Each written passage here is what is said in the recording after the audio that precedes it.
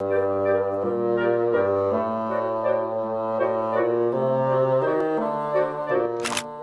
mio nome è nobile come mio nonno, lui era un giornalista e frequentava l'ambiente diplomatico, era un, anche un, un, membro dei servizi segreti. Sul serio? Ci ho provato ma non ci si può stare. Non ci si può stare, ma erano certe, certe sabbiate negli occhi proprio da dire... Ancora oggi Capocotta è una terra bellissima e selvaggia. Daniele da anni la racconta per immagini. So il fotografo di Capocotta, ma non è un caso.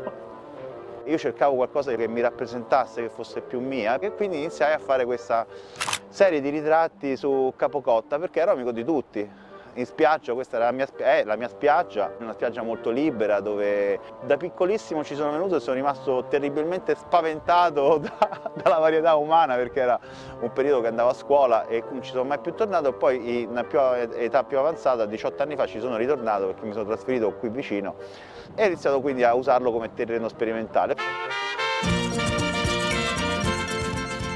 Personaggi di Capocotta, li chiamo personaggi perché sono come un po' quelli di Star Wars, i personaggi di un avamposto, di un bar interstellare che vengono da tutte quante le tipologie umane. È proprio questa sovrapposizione di anime, di strati sociali, di, di persone che stanno uno a fianco all'altro, non curanti uno dell'altro, ma amalgamandosi in una democrazia perfetta